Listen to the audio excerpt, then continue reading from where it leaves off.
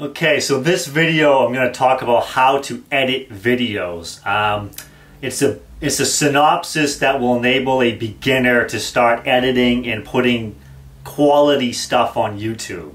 So before I get started, I just want to say I do edit videos professionally. I do I edit videos for wedding videographers. They go out, shoot the footage, you know, they send the footage to me, I edit it, they pay me. So technically I'm a professional editor. I went to college for TV broadcasting in 2004, so a long time ago.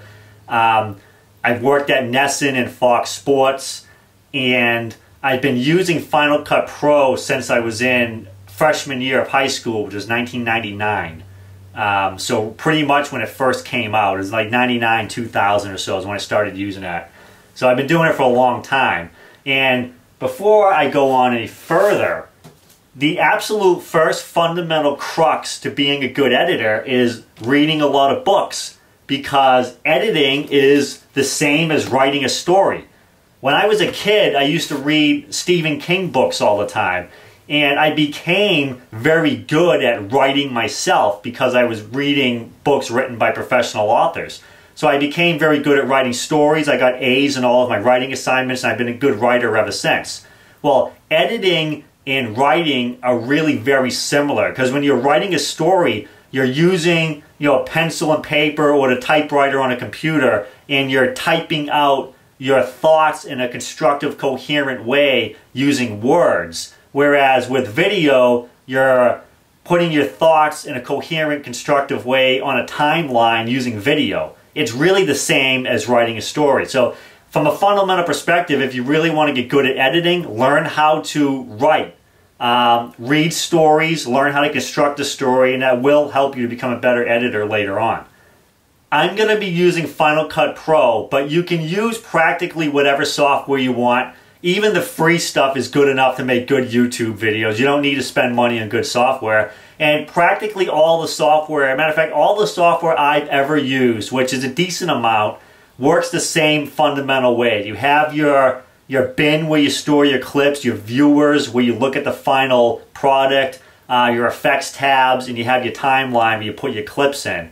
Pretty much every software out there works similar to that. So you can learn one type of video editing software and apply what you know to virtually any other uh, type of software out there. So even if you're not using Final Cut Pro, you can apply this to Windows Movie Maker or whatever you're using.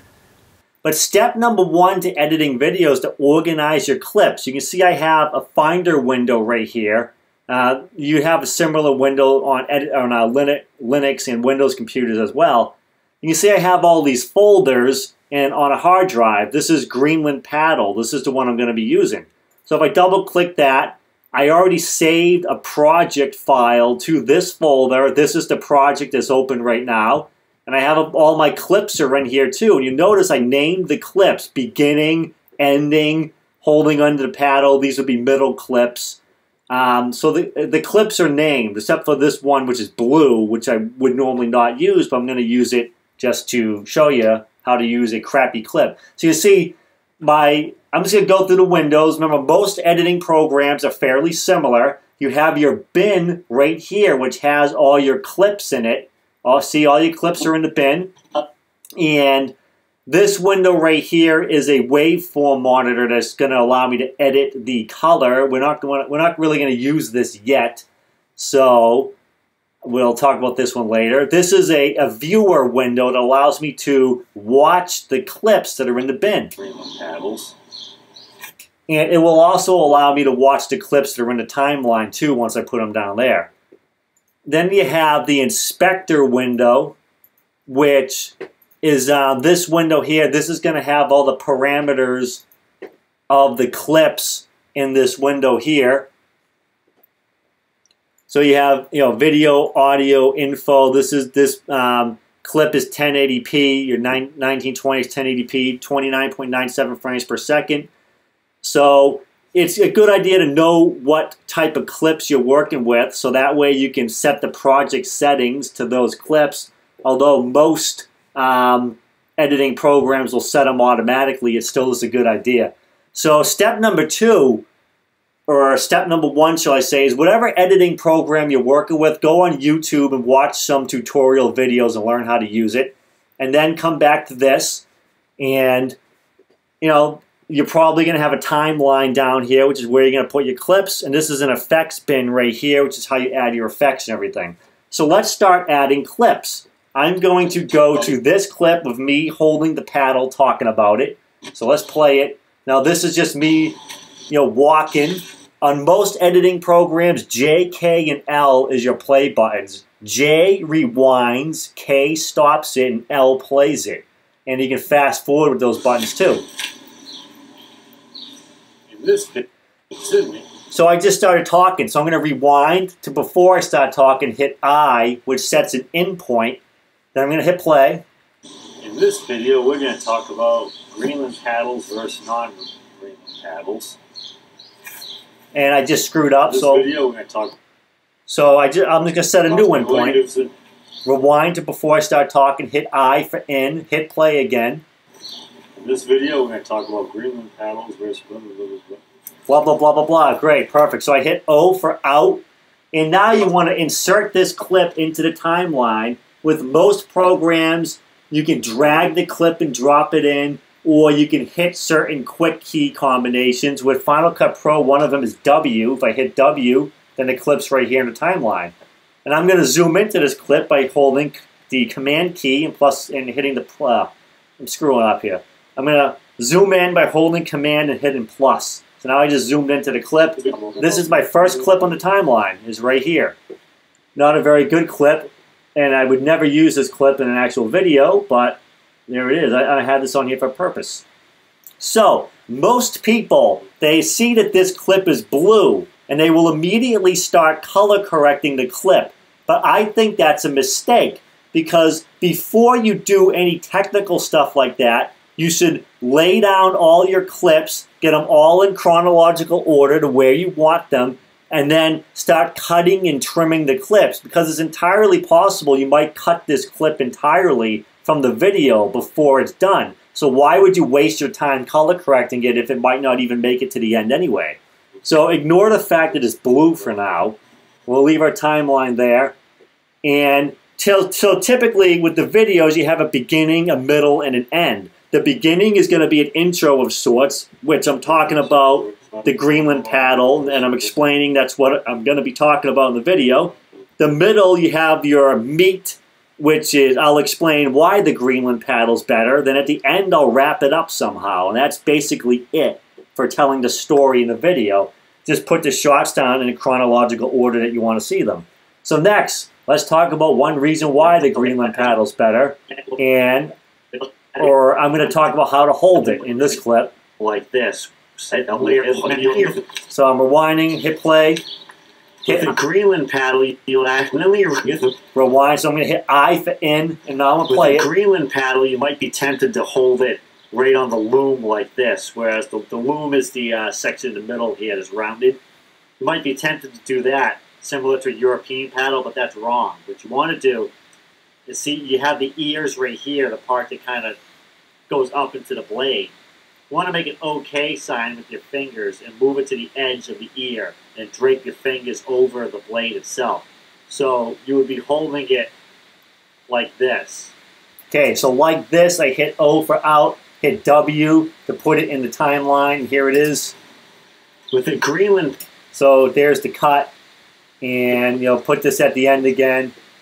Uh, and you know, typically I would have you know more uh, clips in there about why a Greenland paddle is better. But uh, let's see if I can get anything else. like that. Yeah. that? Oh, right over the, the ears there. And you can shave this, you can make this whatever shape you want to where it's comfortable for your fingers. Another advantage of the Greenland paddles, you can customize it.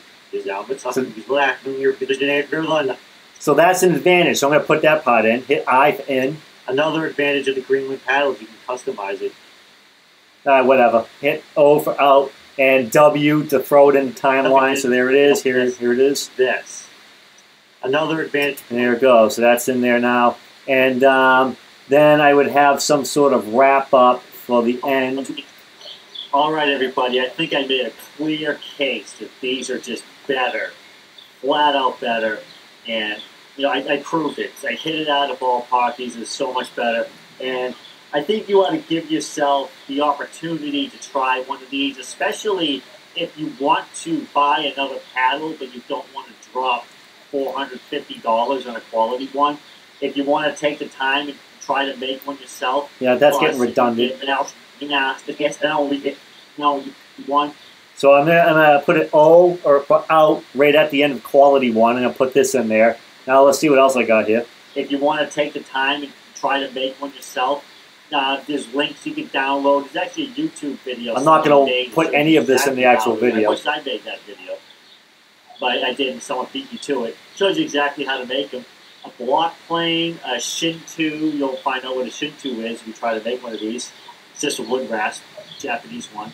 Need a, a hand saw, sandpaper, tung oil. Yeah. About it Great. to make one of these, and 25 bucks, and it's about as lightweight, if you use Western Red Cedar, that is, it's about as lightweight as a carbon fiber paddle. It's gonna Now I'm gonna fast forward to a lot of this by I hitting think you do L. yourself a favor, try them out, give it a little while. You can use it as an extra paddle when you get these. You can have a Euro blade and a paddle to use uh, if you want to, but a lot, a lot of people are starting to switch to them, I think for good reason. Uh, and some of the reasons that you want to outline in the video, some of the pros of it, they're just easier on your shoulders. I think they really are. They're easier to go a long distance with. So that's the green. Your repeat stat.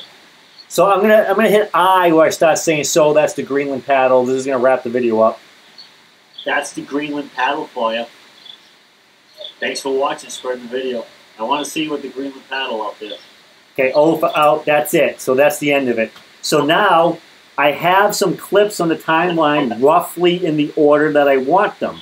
So now step two is to literally watch this video from start to finish, and then you're gonna start cutting stuff out that doesn't need to be there, and you're gonna fix stuff that looks weird in the timing aspect. We're not even gonna get to the audio with the fact that this is blue yet. We're gonna fix the timing of the video. So this is one of the keys to making good videos. The higher the quality that you want the video, the more times you have to watch the video in its entirety before you export it and make your final project to put on YouTube. The more times you watch it, the more stuff you're going to see that shouldn't be there. Because the goal is to edit this down as much as possible, get as much boring, redundant crap out of the video as much as you can, and just make this so you get your points across quickly and orderly so people don't get bored. In fact, you're probably getting bored listening to me right now, so I'm going to move on to the next step. Let's play the whole video from start to finish, and we're going to fix stuff along the way. In this video, we're going to talk about Greenland. So you can see right from the beginning, I kind of like stumble around a little before I start talking. This I don't need all that. Okay, good enough. So this right here, we're going to start trimming. So you'll notice I have a pointer right here, but when I move this to the edge of the clip, it turns into this trim tool. And if I click and drag, it, it uh, trims away that excess. Then I can just click this here, hit delete, and it moves the whole thing back. So that's how you trim.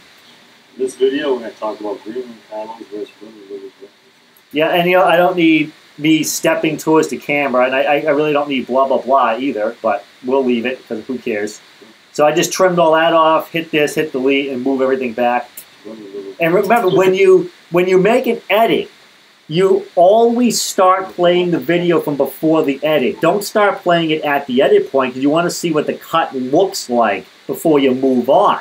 So move the cursor back here and play it from back here. With a Greenland paddle, you might be tempted to hold it right on the loom like this, whereas the, the loom is the uh, section in the middle here that's rounded. You might be tempted to do that, similar to a European paddle, but that's wrong. What you want to do is see you have the ears right here, the part that kind of goes up into the blade. You want to make an OK sign with your fingers and move it to the edge of the ear and drape your fingers over the blade itself. So you would be holding it like this. Another advantage of the Greenland paddle is you can customize it. You know, honestly, that section, that whole section right there, another advantage of Greenland Paddle, it, it just looks kind of dumb. So I'm just going to get rid of it. It's gone. And now move the paddle back here, hit play. So, so you would be holding it like this. Now, I certainly don't need all this. Do I? Absolutely not. right, everybody. So I just start talking, We made our own. rewind. Now I, I stop talking, hit stop it, and see I got my trim tool. See it turned into the trim tool. Grab, click. Most video editing programs work the same way, so don't worry. I just trim that out, play it from back here. So you would be holding it like this. All right, everybody. I think I made a clear case that these are just better, flat out better, and you know I, I proved it. I hit it out of ballpark. These are so much better, and I think you ought to give yourself the opportunity to try one of these, especially if you want to buy another paddle but you don't want to drop four hundred fifty dollars on a quality one. That's the Greenland paddle for you. Thanks for watching, spreading the video. I want to Yeah, you know this is kind of a cruddy looking jump cut. four hundred fifty dollars on a quality one. That's the Greenland paddle for you. Thanks for watching. Now, you know, if I wanted to, I could throw some sort of wacky um, dissolve in there, but you know, they're not really necessary. But let's just look at some of the various transitions. See, this tab here is for transitions. These are all wipes. This stuff is really pretty old school. But if I grab a wipe and throw it in there, it's gonna do on it. a quality one. You know, that, you know, that look kind of dumb. I don't know. I, I, I never really use these because nobody does anymore. Let's just throw that in there. One. Yeah, so you see, and then you know the the one you typically use is a- is a dissolve. Fifty dollars on a quality one. But you know what? The truth is, is transitions are very old school. Um, if you watch YouTube videos and you watch TV, for the most part, it's straight cuts. It might there might not be a jump cut like this. They might go to a different shot, but it's you know for the most part straight cuts. Don't want to drop four hundred fifty dollars on a quality one. That's the Greenland paddle for you. Now that actually would fly like that on YouTube. I, I really, I would love to fix that. Now typically to fix that, you need something called B-roll um, to put on top, which I don't think I really have any in this video. Yeah. So I really don't. So, but for the most part, jump cuts are fine. And this is the modern way to edit is to, is to just leave the jump cuts with no transition. So I wouldn't even bother. Like something like this is a perfectly fine jump cut. You get like this. Because it goes from one shot to another. This jump cut right here, not so good. Because I'm in the same spot, but there's really nothing I could throw over. You know, typically I would throw some just oh, just for the hell of it. I want I really want to show you what I would do if I had the footage. So I'm just gonna grab some footage and I hit Q to put it on top. So typically if I had B roll, something where, where I'm not in the footage, He signed it. you know, I really want to. I wish I, I wish I had the footage to show you here. hmm Do I have a picture?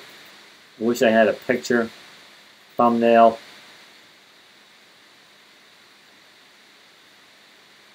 Yeah, I don't know. I'll just throw this in there for the heck of it.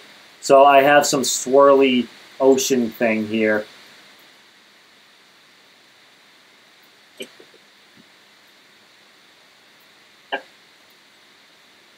But if I had a picture of just my kayak, I could I don't know throw that in or something just to, just to cover that crappy jump cut. But whatever, it, it's fine to, just leave that in there. So you um you this is this is it. So you throw the clips down the timeline, you get them in the order you want them, you trim them up.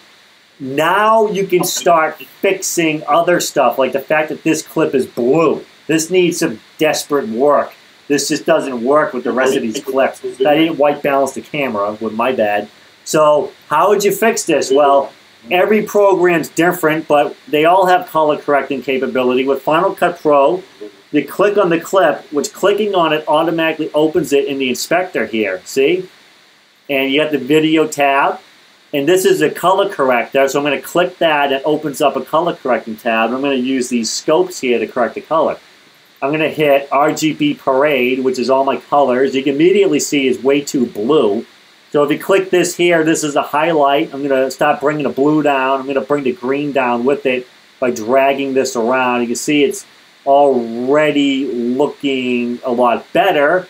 Now, if you look at this clip here, it's clearly a lot brighter than this clip. So let's just look at the exposure real quick. So the exposure is Luma. Now, this is the midtones. See, right around here, these these lines here, it takes a while to, to really learn how to read these scopes. But my midtones are here, and and this clip, you can, you can see me I'm up here, and you can tell that's me because when you play the video, Greenland you can paddle, see it moving. tempted to hold it. See it moving? That's me moving. Now down here, I'm over here. I'm up here on this one, and I'm down here on this one. So you know, I could uh, bring the uh, exposure up a bit. Now that's that's the global control. That's too much. I'm not going to bother with that. Um, let's get this back at zero. Here's the mid-tone. So I'm bringing the mid-tones up a bit on the exposure to try and brighten this clip up. And you can see it's still too blue. So let's go to, you know, I could spend all, well, not all day, but I could spend a lot of time correcting this. I'm just trying to give you an idea of the process of editing. You can see this, this clearly looks better already. And these right here are just other um, settings you can mess with. These are mid-tones and, and the darks and everything. But this clearly looks, this looks a lot better already. Now, if I was making a real professional video, I'd spend a lot more time working on this. But this is before, and this is after. So it's it's improved, and it, it looks kind of like it goes with the other clip now. So I just corrected, I corrected the color in that clip. And now let's work on the audio because all these other clips look fine. I'm not concerned about the color on them. Well, you know, before I do move on to the, the other um, clips, I just do want to mention one thing. You're looking at the Luma setting. This is the brightness of the clip. 100 IRE is typically about the brightest that you want the subject to be, which I'm the subject. So up here is about the brightest you want it, and down here is where you want the blacks. So you don't, you typically don't want them too much lower because if you um, lower the blacks too much, it's going to start crushing all the color out of the blacks. So it just kind of gets smushed when you lower that. And the same thing with, I want to get that right back at zero. Okay. And the same thing with the highlights. If you just see like they're all getting crushed, you watch this up here. They're all getting just smushed. So that's so you want to be careful of that. You got to keep them below that line where they all just get smushed like that. So try to keep it around 100 and around zero. And the midtones, you typically want them up around 75 or so for the midtones. Uh, right around here, between 50 and 75 or so for the midtones. It's typical. Okay, so now let's do the audio.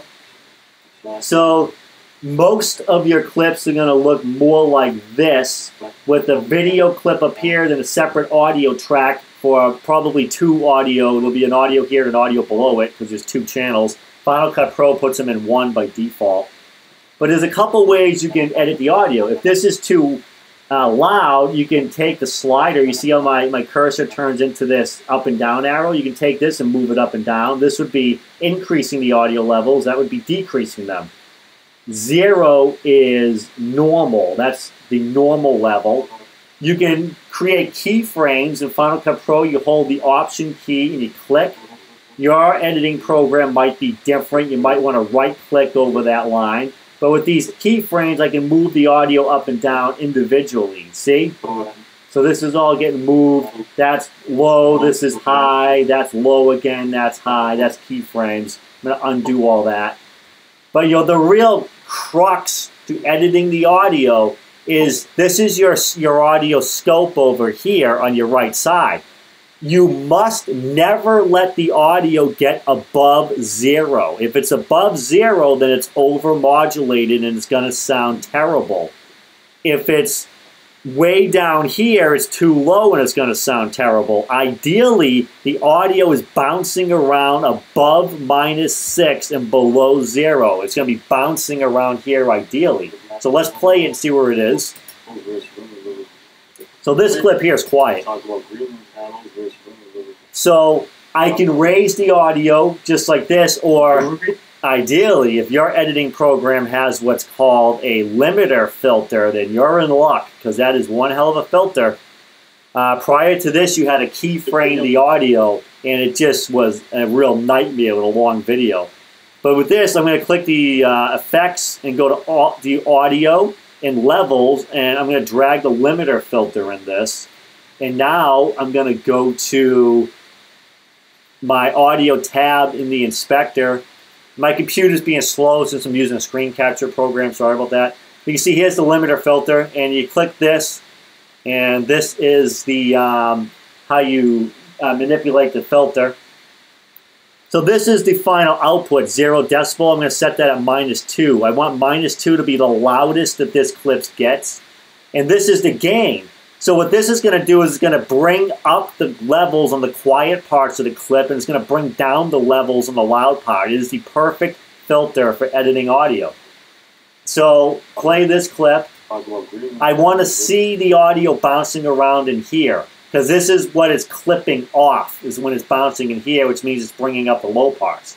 So let's play it again. Talk about Greenland paddles versus Honolulu. Bring the, the gain way up. We're going to talk about Greenland paddles versus Honolulu. See, the fact that there's audio bouncing in here means it's clipping some stuff off, which is good enough. So now you're going to hear this is louder. We're going to talk about Greenland paddles versus Honolulu. See the levels? We're going to talk about Greenland paddles. The levels are up here now. That's where I want them. So now I would uh, then take the limiter filter and I would put it on all of these clips, and that's going to fix the audio across the board for everything. So let's put the limiter filter on this one, and let's open it.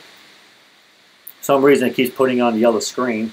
Again, I'm going to set this to minus two. That's the loudest I want it to be. And this one, I'm not going to bring the gain up nearly as much. Greenland paddle, you might be tempted to hold it Matter of fact, I don't even need to. like this, whereas the, the loom is the uh, So with this one, I don't even need to bring it up because you can see section in the it's cutting stuff off You here. might be tempted to do that. I'll bring up a little. Similar to a European paddle, but that's wrong. What you want to do, So I brought up a little bit. Take this and kick Command C and copy this. So this is copy. Now I'm going to go over to this clip and hit Command Command Shift V. This is paste attributes. Now I can paste that limiter filter, and it's going to paste exactly how I set the filter for this clip to this clip here. So now I, I can just I don't have to uh, change it. In fact, I can do it to this one too. Might as well do it to that one as well. Limit. And all these clips have the audio set the same exact way now, which is perfect. Exactly the way you want it. So, you know, there's only maybe one more thing you need to know. A lot of beginners, when they edit videos, they want to put effects in the clips. They want to make the clips look real cool. They have great transitions. But all of that is old school crap. You know, for the most part, you want to go very light on the effects. Simplicity is best. All right, effects are just cheesy and lame. So for the most part, you want straight cuts and you just want to make the video look normal. That's it. So the only effects you really want to use is when you have a clip like this one here that is not white balanced. Ah. Oh, so I didn't click on it. Okay. Let me, okay, so audio tab, so a video tab rather. So a clip like this that isn't white balanced, I'm using effects to make it look normal. Those are the only effects you want to use really. And the only other thing you might need to do is you might need to put uh, a title in your video. Like here's titles. Use simple titles. Don't use fancy ones. So I just, I'm just going to drag it in. See my my video, my computer's being slow because of the, the software I'm recording with. Now when I click the title, it opens it in the inspector, and I can you know type all kinds of jibber jabber in there. You know I can increase the scale of it, whatever. There's all kinds of stuff you can do. So you know that and that's really about all you need to know to edit videos. Um, reading stories will make you better at it because it teaches you how to to get your ideas out in a coherent chronological way. They really will make you better to read books, to become a better storyteller because you're all you're doing with video editing is telling a story with videos instead of a pen and paper. That's it. Be simple. Uh, don't use all kinds of effects. Don't use all kinds of transitions. Uh, for the most part, straight cuts are just perfectly fine. Um, make your video as short as possible. Remember, the more time you spend watching the video in its entirety, the better it's going to look in the end because you're going to catch more boring, repetitive, mundane stuff that can be cut from the video. You're going to catch more stuff that looks weird that you can cut out. So all you need to, to know how to do is get your clips in the, in the bin, get them from the bin into the timeline, and then just trim the clips. And that's basically all you need to do. And then maybe work on the color and the audio a bit. And you're pretty much set. So at this point, I would be exporting it. I would bring my timeline, my cursor to the beginning of the video, hit I, bring the cursor to the end of the video and hit O for in and out. Then I'm going to export the clip. Your video editor will probably be a bit different. You know, then you just go through the export settings, hit next, rather uh, before that, hit settings. So typically H.264 is a good format for YouTube, video and audio. Your audio is going to be AAC, uh, which is perfectly fine. And, and you would just hit next and, and title it and select a folder and save it to that. And that's about it for video editing. Uh, the basics of it for a beginner. I am going to try to do more advanced techniques in the future, more advanced audio uh, and color correcting uh, sometime in the future. But this right here will be good enough uh, for the vast bulk of your YouTube videos. And you can use practically any editing software you want. Doesn't have to be professional stuff at all. So uh, spread the video around, post it on Facebook and Twitter, whatever. Uh, I love seeing the view counts go up on my videos. I hope it has helped you to edit, and thanks for watching.